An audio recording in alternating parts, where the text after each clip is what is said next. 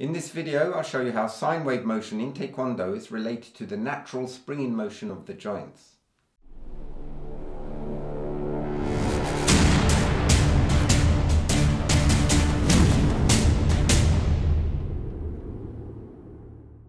In the first video of this series I showed you how sine wave motion in Taekwondo is not an exact sine wave but shares an attribute of sine wave in that the body or limbs change direction very smoothly when performing a technique. The smoothness of a sine wave can be observed when it's represented as motion around a circle at constant speed. Notice that horizontally the movement is also a sine wave. If we view the motion around the circle from an angle, it appears that the object is moving in the shape of an ellipse. The vertical movement up and down will follow the exact same sine wave as it did before. This shows that if we follow an elliptical trajectory, for example doing a slight curve as we change direction, as we do with a punch, then it will be more like a sine wave. But it won't be an exact sine wave because the movement won't be a perfect ellipse throughout the motion. And it won't be at constant speed. At some point there's going to be acceleration. Here are some examples where you can see how the body and limbs change direction in a curved way, similar to an ellipse.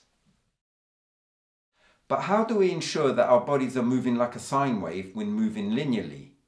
For example, with a sitting stance middle punch, our bodies move up and down, but not side to side or forwards and backwards. So we're moving vertically in a straight line.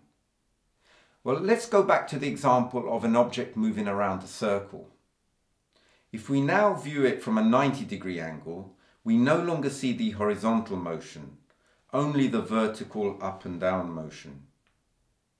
The sine wave in the vertical axis will be the same as it was before, but the sine wave in the horizontal axis has been completely flattened out. This vertical motion we're seeing here is an exact representation of the motion of an oscillating spring. An object suspended on a spring will oscillate following an exact sine wave. Notice how the object gradually decelerates and then accelerates in the opposite direction in a smooth way, instead of changing direction suddenly or pausing before it changes direction. So we need to do the same when performing Taekwondo techniques with sine wave motion. We need to use our joints as if they were springs. Going back to the example of sitting stance middle punch, the knees will act as springs when moving up and down. So the body will drop and then raise in a smooth way because of knee spring. In fact, General Choi Hong Hi often spoke about knee spring, especially in the era before he introduced the concept of sine wave motion. So to summarize, when performing a technique with sine wave motion, sometimes use a slight curved motion when changing direction. But if moving linearly, make sure it's very spring-like. Now in part three, I'll be explaining the three stages of sine wave motion. So I hope you join me for that one.